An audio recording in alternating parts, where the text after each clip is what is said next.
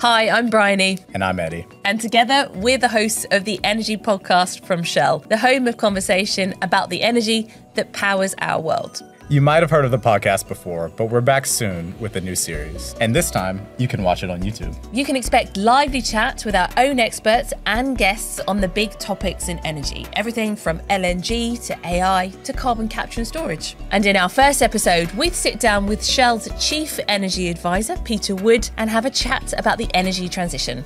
Energy transition means different things to different people in different places.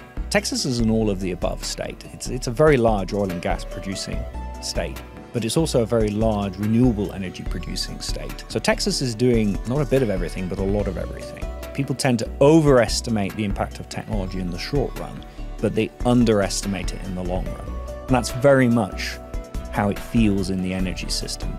You can find us wherever you get your podcasts. And don't forget to click and subscribe.